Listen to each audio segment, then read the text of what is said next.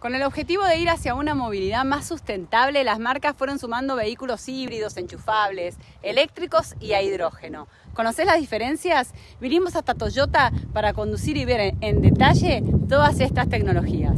Este CHR es un híbrido, esto quiere decir que cuenta con un motor de combustión naftero y otro eléctrico que alternan su funcionamiento para reducir el consumo y por lo tanto las emisiones.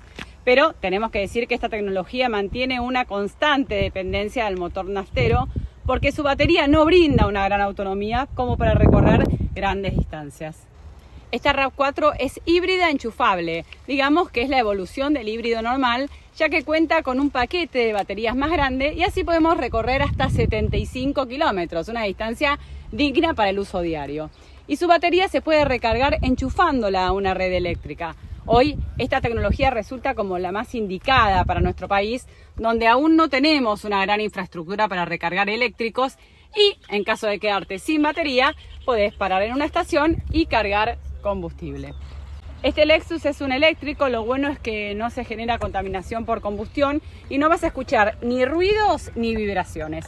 Además, es más económico cargar un eléctrico que un naftero.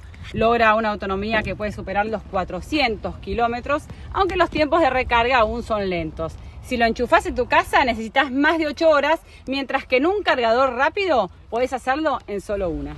Y por último, este Toyota Mirai es a hidrógeno que se anuncia como la solución final para eliminar la contaminación. Cargarlo te lleva menos de 5 minutos y puedes circular hasta 600 kilómetros. Sin embargo, aún hay varios puntos para revisar, ya que para que sea cero emisiones hay que cargarlo con hidrógeno verde.